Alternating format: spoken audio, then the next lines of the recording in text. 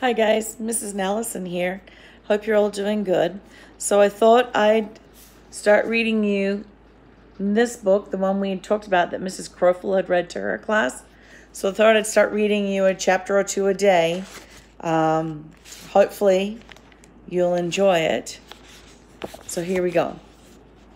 This was not how I wanted to, summer vacation to end driving with my mom and my sister through cornfields on our way to my grandmother's house, not for a fun weekend visit, but for good. I was ready to be bored. I was ready to be lonely, but I wasn't ready to face off against an evil power that wanted me dead. Chapter 1 Do I get my own room? Anna asked when we drove down Grandma Jeannie's driveway. Josie snores. I glared at her from the front seat. Sometimes my little sister could be such a pain. Yes, Anna, Mom said. You both get your own rooms. It's an upgrade, see? You need internet to get upgrades, I muttered, crossing my arms. Grandma Jeannie didn't have any internet service.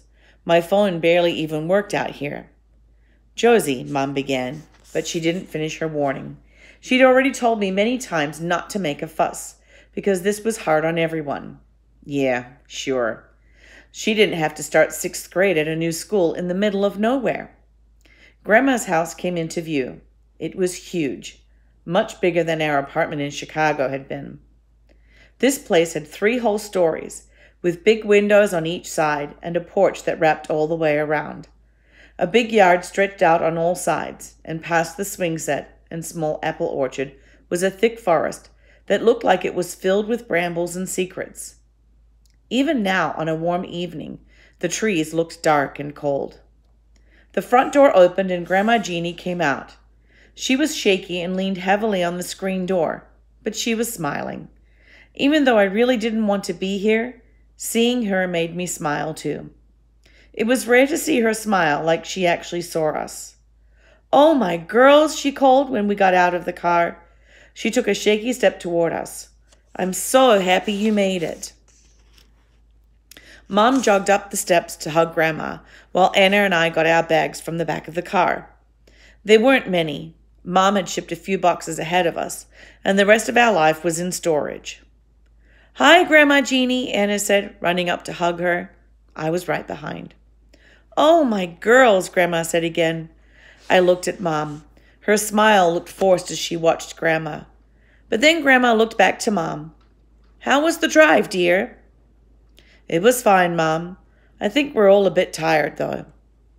Well, then, I have some sun tea in the kitchen. Why don't we have a drink out here before dinner? Mom agreed and went inside to get the tea, while Grandma led Anna and me to the patio table.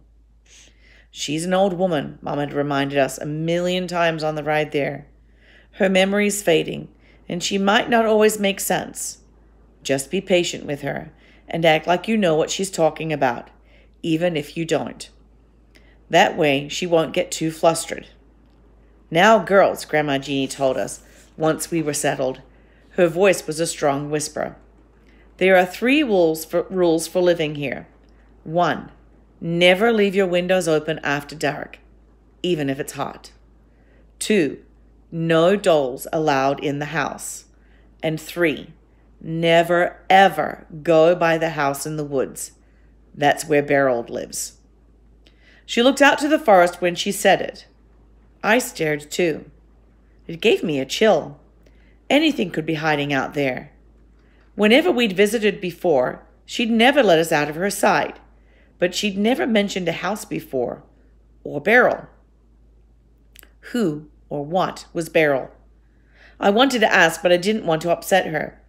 It was clear from her eyes that it upset her enough just to say the name. Don't worry, Grandma, I assured her, patting her arm. We'll follow the rules. Mum came out then and handed us the sun tea. I didn't really want it. I wanted soda, but Grandma Jeannie didn't have that, so I needed to get used to it now. Grandma and Mum talked about the drive for a bit.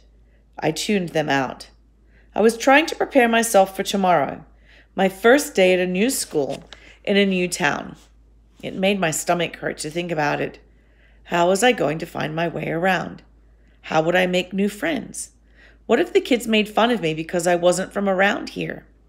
I'd already stopped worrying about what Grandma had said. Her rules were strange, but that was how things were here. The only thing I could do was follow along.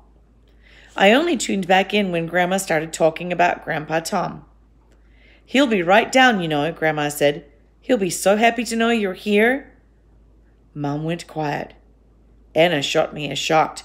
Can you believe she said that? Look. Grandpa Tom had passed away five years ago. I barely remembered him. Let's get you inside, Mum, our mother said. I think maybe you could use a nap. Tom will be so happy, Grandma continued. She let Mom help her up and guide her toward the house. Girls, could you get the rest of the bags? Mom asked. I knew she just wanted to keep us busy. She hated seeing Grandma like this. It seemed to be happening more and more often.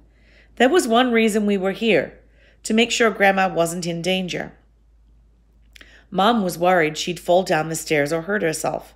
And when Mom lost her job, it made sense for us to come here. Or at least it made sense to the adults. It still didn't make sense to me. All we knew was that Grandma wasn't entirely with us anymore. Some days she was better than others. And we also knew not to go into the woods.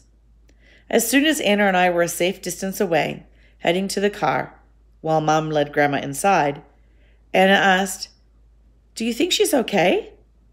I shrugged. That was weird about Grandpa, right?